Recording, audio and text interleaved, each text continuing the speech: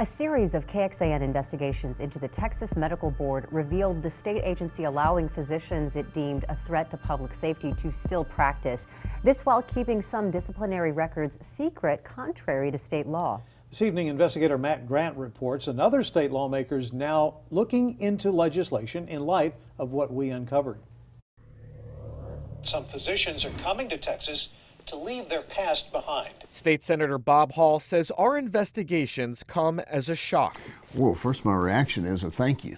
Thank you for doing uh, what we should have been doing. The Edgewood Republican wants a full exam of the Texas Medical Board.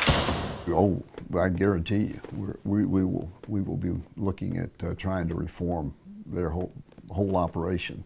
They are not doing the job that they're supposed to be doing. It's as simple as that. Until he watched our reports, Hall says he had no idea that multiple doctors, credibly accused of inappropriate sexual contact with female patients, were allowed to keep practicing as long as they only treated men. Until you brought up what was happening out here, I was really not aware that they were lenient. Something you might want to look into? Uh, absolutely. Hall's planning legislation to tighten the complaint process by making allegations formal affidavits and doing away with anonymous complaints.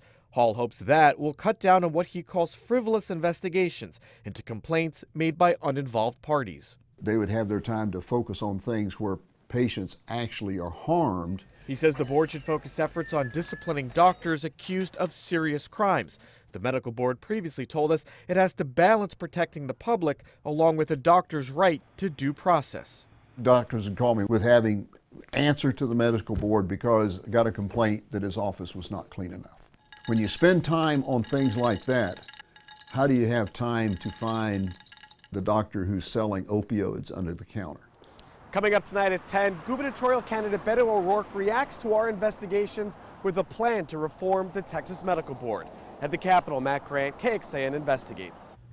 The governor's office tells us they will continue working with the TMB to ensure board members and physicians are held accountable adding Governor Abbott has worked to appoint members that will help promote his policies to protect the interests and care of Texans. On the Democratic side across the Capitol, House member Julie Johnson he is also drafting legislation in response to what our team uncovered. And this month we told you more than a half dozen TMB board members have collectively donated hundreds of thousands of dollars to Governor Greg Abbott, who appointed them to the board. Johnson wants the public non-medical members of the board to have patient safety and advocacy experience, something that is not currently required. How do you hold the Texas Medical Board accountable when it's not following the law like it should?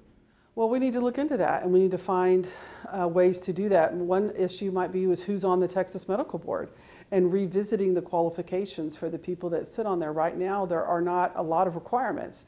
You know, Governor Abbott's able to appoint his big dollar donors to the medical board and they're not doing their job. And a quick note, these interviews and the governor's response were gathered before the tragedy in Uvalde. Board members did not respond to our request for comment. You can catch up on our entire series. Head over to kxan.com, click on Still Practicing under the Investigative tab.